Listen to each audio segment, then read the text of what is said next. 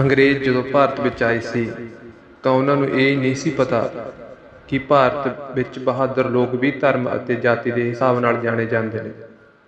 ਉਹਨਾਂ ਨੂੰ ਇਹ ਲੱਗਦਾ ਸੀ ਕਿ ਸਿਰਫ ਰਾਜਪੂਤ ਲੋਕ ਹੀ ਸੈਨਾ ਵਿੱਚ ਭਰਤੀ ਹੁੰਦੇ ਨੇ। ਇਹੀ ਦੇਸ਼ ਲਈ ਲੜਦੇ ਨੇ। ਅੰਗਰੇਜ਼ ਜਦੋਂ ਪੰਜਾਬ ਵਿੱਚ ਆਏ, ਤਾਂ ਇੱਥੇ ਉਹਨਾਂ ਦਾ ਸਾਹਮਣਾ ਹੋਰ ਧਰਮ ਦੇ ਲੋਕਾਂ ਨਾਲ ਹੋਇਆ।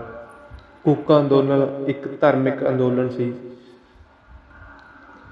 ਪਰ ਬਾਅਦ ਵਿੱਚ ਇਹ ਅੰਗਰੇਜ਼ਾਂ ਦੇ ਖਿਲਾਫ ਹੋ ਗਿਆ। ਇਹ ਅੰਦੋਲਨ ਦੇਸ਼ ਦਾ ਸਭ ਤੋਂ ਪਹਿਲਾ ਆਜ਼ਾਦੀ ਦਾ ਅੰਦੋਲਨ ਸੀ, ਜੋ ਅੰਗਰੇਜ਼ਾਂ ਦੇ ਖਿਲਾਫ ਕੀਤਾ ਗਿਆ।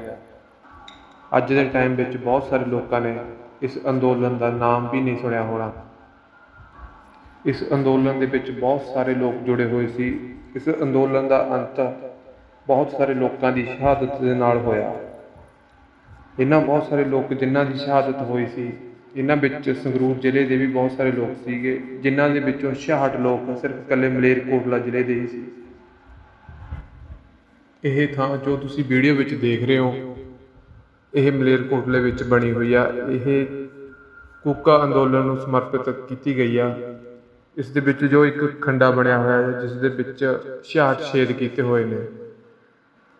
ਜੋ ਕਿ ਮਲੇਰਕੋਟਲਾ ਦੇ 66 ਨਾਮਧਾਰੀ ਸਿੱਖ ਜੋ ਕਿ ਕੁੱਕ ਅੰਦੋਲਨ ਦੇ ਵਿੱਚ ਸ਼ਹੀਦ ਹੋਏ ਸੀਗੇ, ਉਹਨਾਂ ਦੀ ਯਾਦ ਵਿੱਚ ਕੀਤੇ ਗਏ ਨੇਗੇ। ਇਹ ਉਹਨਾਂ ਦੀ ਸ਼ਹਾਦਤ ਨੂੰ ਦਰਸਾਉਂਦੇ ਹਨ 66 ਛੇਦ ਇਸ ਵੀਡੀਓ ਨੂੰ ਬਣਾਉਣ ਦਾ ਮਕਸਦ ਸਾਡਾ ਇਹ ਹੈ ਕਿ ਜਿਨ੍ਹਾਂ ਲੋਕਾਂ ਨੇ ਸਾਡੇ ਦੇਸ਼ ਲਈ, ਸਾਡੇ ਧਰਮ ਲਈ ਕੁਰਬਾਨੀਆਂ ਦਿੱਤੀਆਂ, ਅਸੀਂ ਉਹਨਾਂ ਨੂੰ ਬਿਲਕੁਲ ਭੁੱਲਦੇ ਜਾ ਰਹੇ ਹਾਂਗੇ। ਕੂਕਾ ਅੰਦੋਲਨ ਦਾ ਸਾਡੇ ਇਤਿਹਾਸ ਵਿੱਚ ਇੱਕ ਬਹੁਤ ਵੱਡਾ ਯੋਗਦਾਨ ਰਿਹਾ ਹੈਗਾ। ਪਰ ਅੱਜ ਇਹਨਾਂ ਦੀ ਯਾਦ ਵਿੱਚ ਜੋ ਇਹ ਜਗ੍ਹਾ ਬਣਾਈ ਗਈ ਆ ਇਸ ਜਗ੍ਹਾ ਨੂੰ ਕੋਈ ਵੀ ਬੰਦਾ ਦੇਖਣ ਨਹੀਂ ਆਉਂਦਾ ਹੈਗਾ। ਅਸੀਂ ਇੱਥੇ ਤਕਰੀਬਨ 1 ਘੰਟਾ ਅਸੀਂ ਇੱਥੇ ਬੈਠੇ ਰਹੇ ਅਸੀਂ ਇਹਨੂੰ ਸਾਰਾ ਦੇਖਿਆ ਤੇ ਇੱਕ ਵੀ ਬੰਦਾ ਇਸ ਜਗ੍ਹਾ ਨੂੰ ਦੇਖਣ ਨਹੀਂ ਆਇਆ। ਇਸ ਥਾਂ ਦੀ ਵੀਡੀਓ ਬਣਾ ਕੇ ਅਸੀਂ ਵੱਧ ਤੋਂ ਵੱਧ ਲੋਕਾਂ ਤੱਕ ਇਸ ਨੂੰ ਪਹੁੰਚਾਉਣਾ ਚਾਹੁੰਦੇ ਹਾਂ ਤਾਂ ਜੋ ਹਰੇਕ ਬੰਦੇ ਨੂੰ ਪਤਾ ਲੱਗੇ ਕਿ ਇਹਨਾਂ ਦਾ ਸਾਡੇ ਧਰਮ ਵਿੱਚ ਕੀ ਯੋਗਦਾਨ ਸੀ, ਇਸ ਤੱਕ ਕਿ ਇਹ ਜਗ੍ਹਾ ਸੰਗਰੂਰ ਵਿੱਚ ਬਣੀ ਹੋਈ ਹੈ, ਪਰ ਸਾਡੇ ਸੰਗਰੂਰ ਦੇ ਲੋਕਾਂ ਨੂੰ ਹੀ ਨਹੀਂ ਪਤਾ ਹੈਗਾ। ਆਲੇ ਦੁਆਲੇ ਦੇ ਜ਼ਿਲ੍ਹਿਆਂ ਤੋਂ ਤਾਂ ਕਿਸੇ ਨੇ ਕੀ ਆਉਣਾ ਸੀ, ਪਰ ਸਾਡੇ ਸੰਗਰੂਰ ਦੇ ਲੋਕ ਵੀ ਇੱਥੇ ਇਸ ਨੂੰ ਦੇਖਣ ਨਹੀਂ ਜਾਂਦੇ। ਜਗ੍ਹਾ ਬਹੁਤ ਹੀ ਸੋਹਣੀ ਤੇ ਸਾਫ਼ ਸੁਥਰੀ ਬਣੀ ਹੋਈ ਆ। ਸਾਨੂੰ ਸਾਰਿਆਂ ਨੂੰ ਇੱਕ ਵਾਰੀ ਜ਼ਰੂਰ ਆ ਕੇ ਇੱਥੇ ਦੇਖਣਾ ਚਾਹੀਦਾ ਤੇ ਸਾਨੂੰ ਇਸ ਦਾ ਇਤਿਹਾਸ ਪੜ੍ਹਨਾ ਚਾਹੀਦਾ।